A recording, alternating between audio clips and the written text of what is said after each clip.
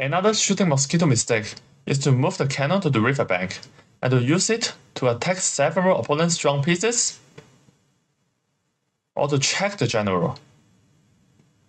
After several attacks, Black has developed multiple strong pieces when Red has only moved its cannon. Red would suffer from the positional disadvantage in the later game.